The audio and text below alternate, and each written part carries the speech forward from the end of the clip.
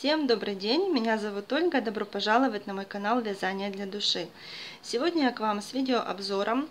Поговорить хочу о э, интересной пряже э, Drops Sky. Это довольно популярная пряжа в кругу вязальщиц на сегодняшний день. Э, и вот мне довелось с ней поработать, и сложилось у меня о ней очень хорошее впечатление, поэтому хочу поделиться с вами этой информацией. Итак, давайте для начала рассмотрим сам моточек. А, он выглядит вот таким вот образом, довольно пухленький, довольно объемный, как для моточка, который весит всего 50 грамм. А, но это за счет того, что пряжа шнурковая, она пухленькая, объемная.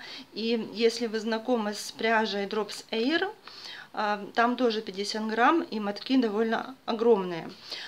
Вот здесь почти та же история. Итак, у меня цвет из линейки Mix. У Дропса а, очень часто в одном артикуле а, есть две линейки Unicolor и Mix Color. Значит, Unicolor это там, где цвета однотонные, а в Mix они более сложно сочиненные, меланжевые, такие неоднородные. Мне больше нравится покупать пряжу Drops именно линейку Mix, потому что эти цвета эм, действительно очень красивые, и вещи из них получаются более интересное. Но вот это так э, лично мое мнение. А, давайте посмотрим на этикеточку. А, значит, здесь в составе 74% альпаки, 18% полиамида и 8% альпаки. Состав довольно хороший. 50 а, грамм, 190 метров.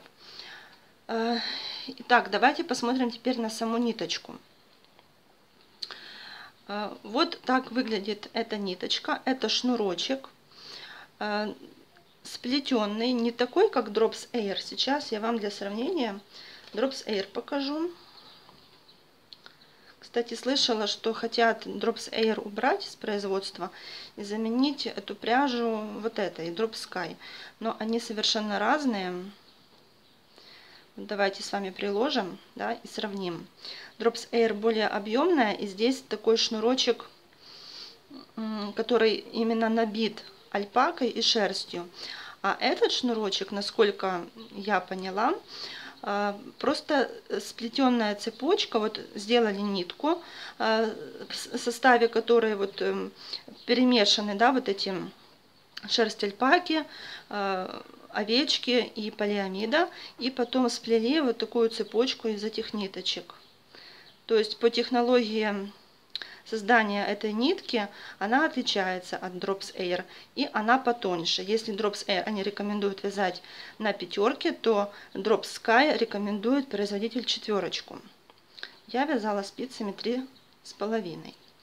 Итак, когда я искала информацию об этой пряже, прежде чем заказать ее на полноценный проект, я очень часто встречала э, отзывы, что она э, имеет очень хороший расход. То есть на изделие где-то размера SM э, на свитер хватает 6 моточков. Э, и это действительно так. Значит, я заказала 8 мотков, э, чтобы связать свитер оверсайз на размер L, либо 48 Э, и я угадала. Значит, мое мнение, почему э, у нее такой хороший расход. Эм, смотрите, вот шнурочек в обычном состоянии, да, не растянутом. Но когда мы его тянем, он вытягивается. Давайте специально возьмем линеечку и посмотрим, сколько сантиметров прибавляется при растяжении. Допустим, вот 10 сантиметров, а, нитка в свободном состоянии, я ее растягиваю, и у меня получается почти 12 сантиметров. То есть, когда мы вяжем, мы, естественно, э, каждый, у каждой из нас э, своя плотность, но мы ниточку натягиваем. Да? Именно поэтому я думаю, что в мотке вот эти 190 грамм, это нитка вот в таком расслабленном состоянии.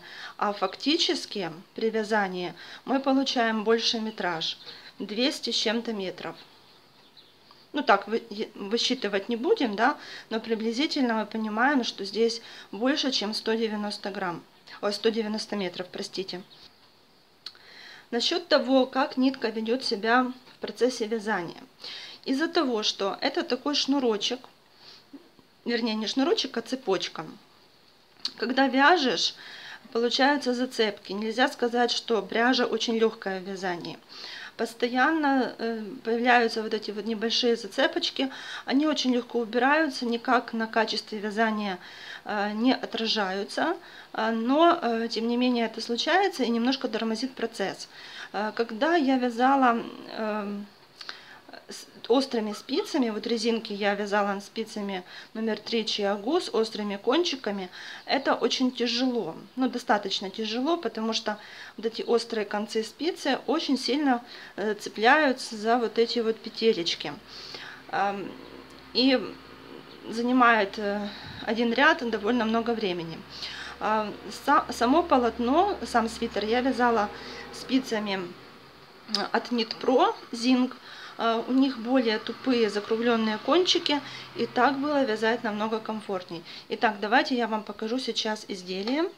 А, вот я вяжу свитер, не передает камера цвет совершенно, но сейчас не о цвете.